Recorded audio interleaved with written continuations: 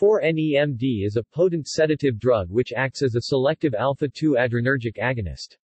It is closely related to dexmedetomidine but is several times more potent. Like other alpha-2 agonists, it produces sedative and muscle relaxant effects but without producing respiratory depression. It is not currently used in medicine but has been researched as the basis for a potential new generation of alpha-2 agonist drugs, which may have selectivity for the different subtypes of the alpha-2 receptor. It has two isomers, with the S isomer being the more potent, as with medetomidine. 4-NEMD was also investigated by the United States military as an anesthetic agent, most likely for use in surgery but possibly also for use as a non-lethal incapacitating agent, although this has not been officially confirmed.